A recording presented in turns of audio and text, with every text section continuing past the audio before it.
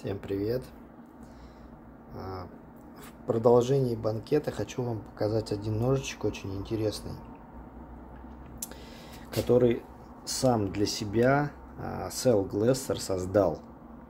То есть это был нож, э, который он создавал для себя, для походов в лес, для использования в быту. То есть это то, что он хотел видеть. Вот. Потом это все трансформировалось и по итогу, а, когда этот нож был сделан, Сел Глессер высказался так, что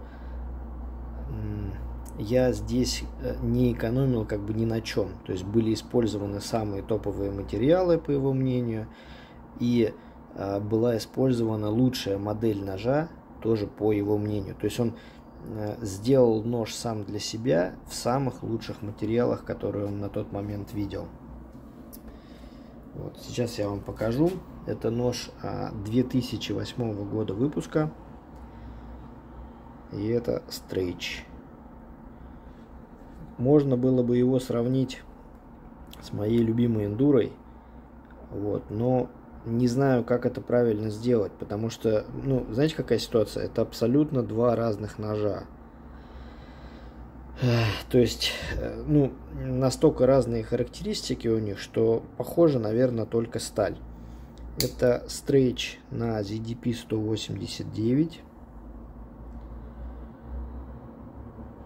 Вот такой вот у него чуэл прекрасный. Вверху насечка, как у, у чинуков. Первый, второй, третий. Чинук вот имели вот такую насечечку. То есть сейчас стрейч идет с мелкой вот такой насечкой, как внизу. Раньше было вот так вот. Очень хороший чистый финиш клинка. А, камера это не передает, но это прям четко, четко, четко такой сведи... э, шлифовка. То есть это не полировка, конечно, но вот прям он очень четко пачкается, видите, э, буквально там касания пальца остаются. Сведен нож 0,45. А, я намерил своим китайским штангеном. Вот, на 100% я ему не доверяю. Ну, так примерно.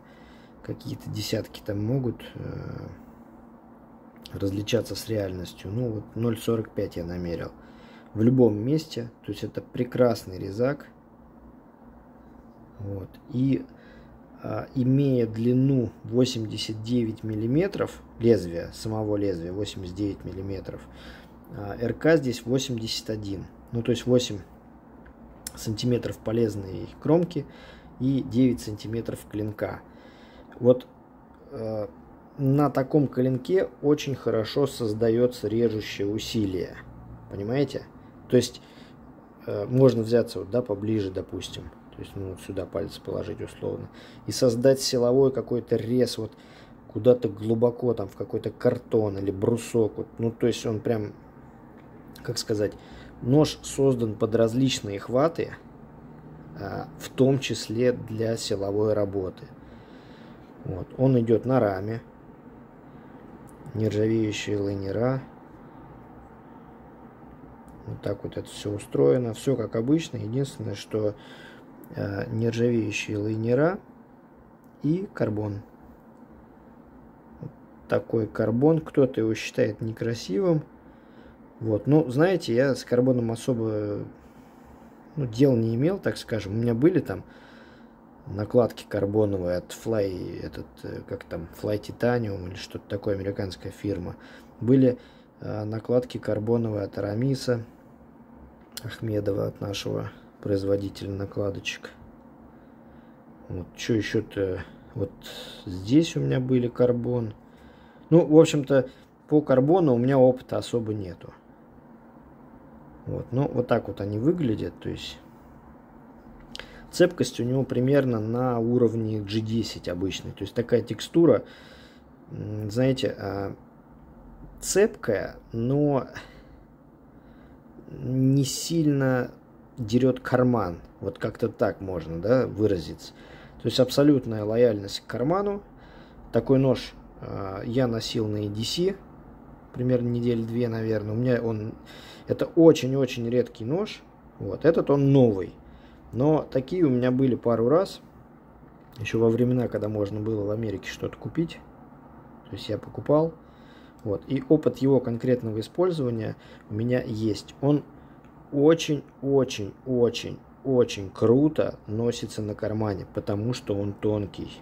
То есть вот, смотрите. Вот такая вот толщина. Я бы мог, конечно, это все замерить, там подготовиться, но просто не хочу грузить вас цифрами. То есть давайте я, наверное, а, просто его сейчас сравню в толщине с эндурой.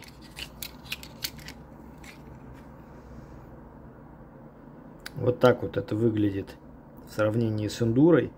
Уж при условии, что эндура далеко вообще не толстый нож, если мне память не изменяет, тут 11 э, миллиметров, по-моему. То есть здесь, ну, я не знаю, 9, да, наверное. Было бы, конечно, наверное, интересно померить, чисто физически. Ну, давайте померю, сейчас померю и вам скажу. Вот так вот. Так, в общем, у меня получилось а, Enduro 10,9. Ну, должно быть 11, да, вот. То есть погрешность Штангена, видимо, моего. Либо, ну, 10,9, а, а здесь 9,6. То есть разница между ними получается 13 миллиметров. 13. Это очень много. То есть вот конкретно для ношения это очень много. Просто это между ними пропасть. Вы понимаете, да? То есть эндура тонкая, классная, очень удобно на кармане. Вот это вот, это вообще просто незаметное. Это крепкий, классный, дорогущий нож в толщине делики, наверное, вот так, да. Сейчас добавлю тогда еще размер делики. Делика тоже есть, можно померить делику. Ну, давайте померим делику. Хорошо.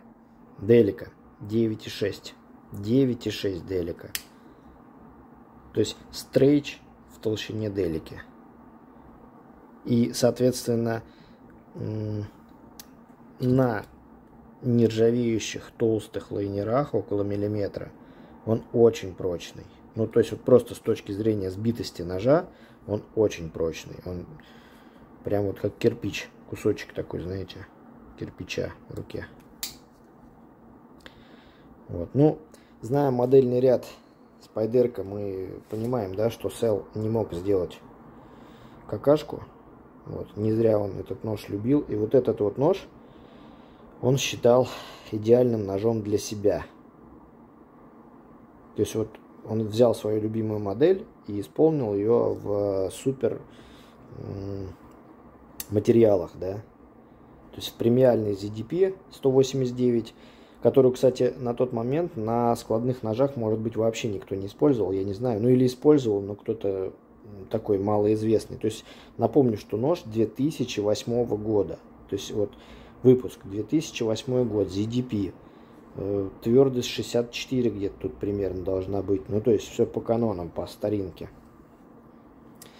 По поводу веса. Э, учитывая, что он на нержавеющих лайнерах, весит он всего 110 грамм. То есть это небольшой вес. Напоминаю, что эндуро со спусками от обуха у нас весит 105 э, грамм. То есть 105 против, против 110. Рукой Сейчас я вам скажу. Вот, допустим, могу я отличить 5 грамм? Нет, я не могу отличить 5 грамм. Ну, объективно. Ну,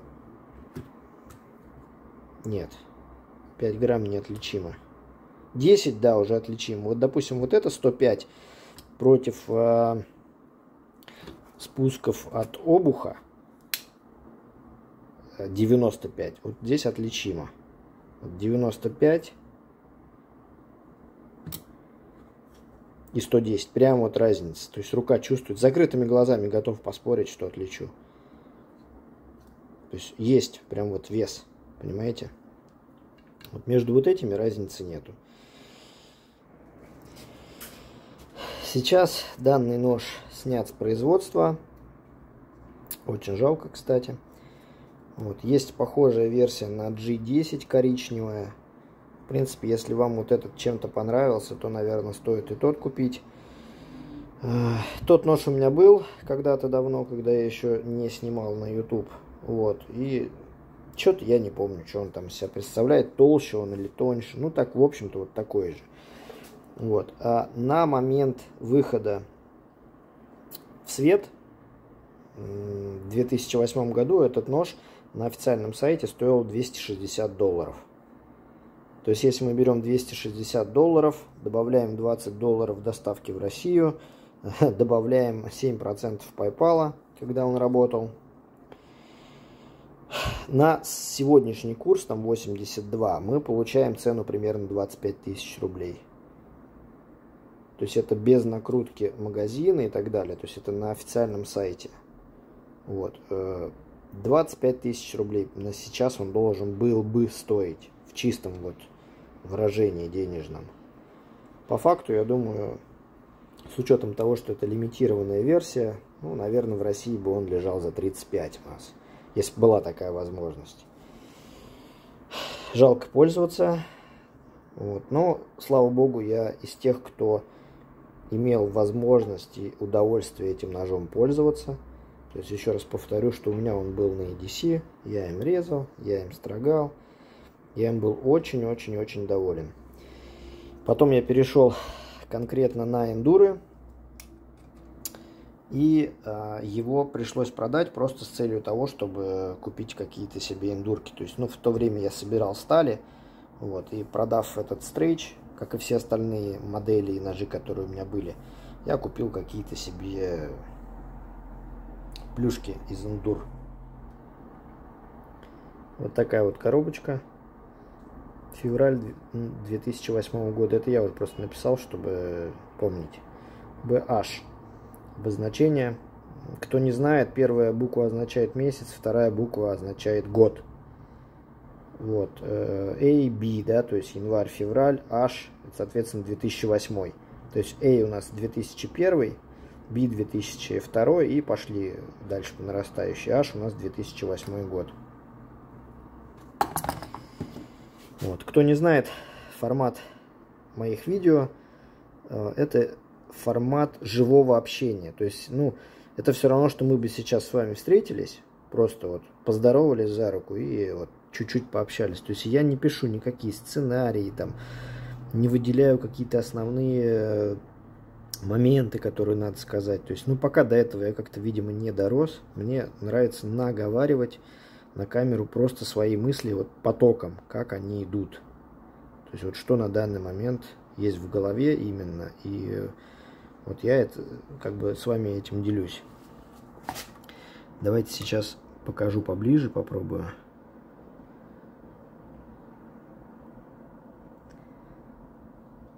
Так, секунду.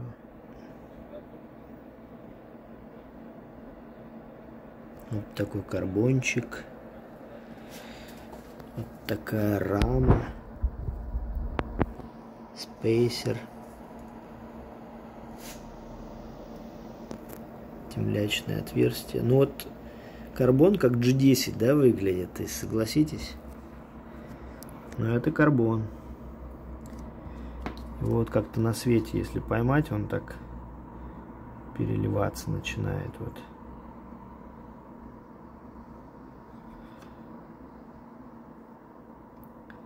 Металлический спейсер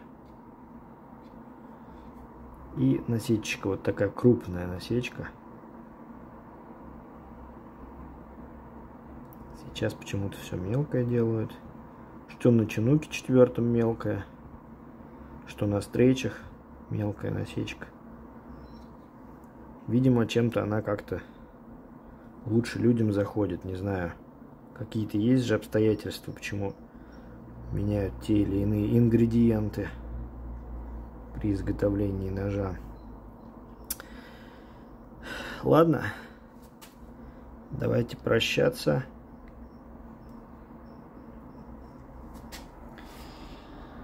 Все, что хотел сегодня показать, показал. Все, что хотел сегодня рассказать, рассказал.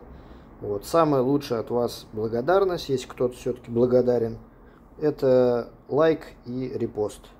То есть кому-нибудь отправьте это видео и, блин, принципе, это все, что вы можете для меня сделать на сейчас. Все. Всем спасибо. Пока.